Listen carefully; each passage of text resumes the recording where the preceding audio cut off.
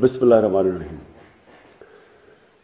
مجھے بڑی تکلیف ہوئی یہ سن کے، جس طرح کے میرے خلاف پروپیگنڈ اور فتوے دیے جا رہے ہیں۔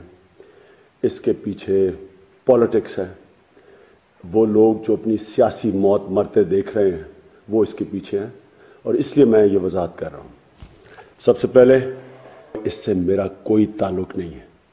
نمبر دو میں قرآن پڑھی ہوئی ہے، میں اپنی زندگی کوشش کرتا ہوں۔ نبی صلی اللہ علیہ وآلہ وسلم کی زندگی کو، ان کی جو سنت ہے، جو ہمیں ان کی زندگی پہ اپنی زندگی گزارنے کی کوشش کرتا ہوں۔ میرا ایمان اللہ پہ ہے۔ میں نے قرآن پڑھی ہوئی ہے۔ جو انسان ہمارے نبی کو آخری پیغمبر نہیں مانتا، وہ مسلمان نہیں ہے۔ اس لیے یہ کہنا کہ میں کوئی تحریک ہاں، انصاف، اقتدار میں آ کے سیونٹی تھری کانسٹیٹیوشن میں کوئی چینج کرے گی قائدیانوں کے متعلق، یہ بالکل جھوٹ ہے اور پروپگینڈا ہے۔ جو لوگ میرے خلاف فتوا دیتے ہیں، میرے سے پوچھے بغیر ان کو پتا ہونا چاہیے کہ یہ گناہ کر رہے ہیں۔ جب جج فیصلہ کرتا ہے، دو فریق کی بات سن کے کرتا ہے۔ انہوں نے کیوں نہیں میرے سے پوچھا؟ کیا ان کا حق نہیں بنتا تھا میرے سے پوچھنا؟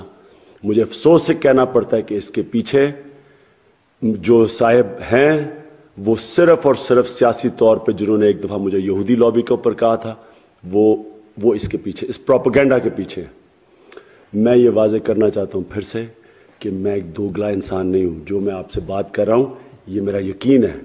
وکی لیکس نے یہ کہا تھا کہ سارے پاکستانی سیاستدان امریکنوں کو کچھ کہتے ہیں، بند دروازے کے پیچھے، اور پبلک میں کچھ کہتے ہیں۔ سوائے ایک سیاستدان کے، جس کا نام عمران خان تھا۔ جو میں آپ سے کہہ رہا ہوں اور جس میں ایک مولانا حضرات جو اس کے پیچھے ہیں، ان کے متعلق انہوں نے کہا تھا کہ ہمیں کہتے ہیں کہ امریکن کہتے ہیں، ہمیں وزیر اعظم، مجھے وزیر اعظم بنا دو، جو کام چاہتے ہیں میں آپ کے لیے کر لوں گا۔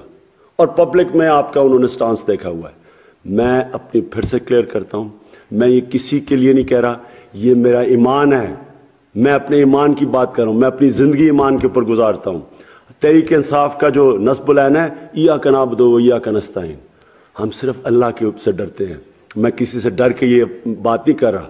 مجھے صرف تکلیف ہے کہ یہ استعمال کیا جا رہا ہے سیاست، سیاسی طور کے اوپر میرے دین کو چیلنج کیا جا رہا ہے، جس کے اوپر میں اپنی زندگی گزارتا ہوں۔